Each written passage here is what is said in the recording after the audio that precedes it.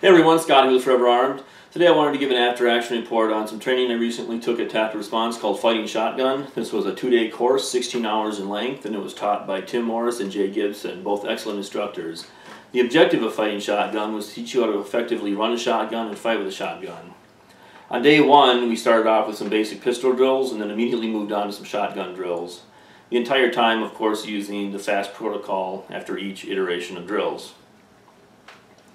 Uh, we started out uh, shooting some basic drills and then moved on to shooting from various positions such as kneeling, sitting, from supine, and then moved on to doing some drills involving running the shotgun one-handed and also some off-shoulder shooting as well. We then we moved on to some, doing some movement drills along with shooting from cover and also shooting while moving to cover and also some team drills from cover and some team movement drills as well. We also did some long range shooting with slugs and we also did some multiple range shooting involving birdshot, buckshot, and port loading slugs for some long range shooting as well.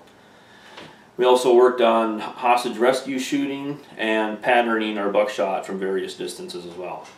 Overall, this was an excellent class. Um, this is probably the most fun training I've ever taken. This is just a very fun class. I think shooting shotgun is just really fun in general. Uh, highly recommend this class to anyone looking for a home defense solution. I, I believe that a shotgun is the most effective uh, weapon for home defense, so you might as well get some training on it. It's highly recommended. Uh, some of the gear that I used uh, for my pistol, I used a Glock 19 in a Safariland drop leg holster.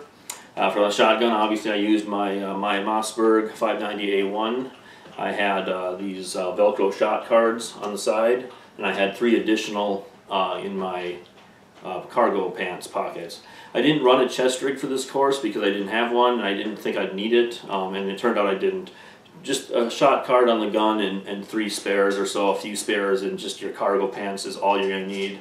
I had no problems keeping up with the class and the drills with, with, that, with that gear.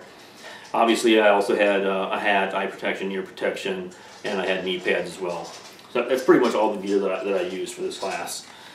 Um, that's pretty much it. Uh, once again, I highly recommend this course. It's a very important course if you're looking to run a shotgun effectively for a home defense solution.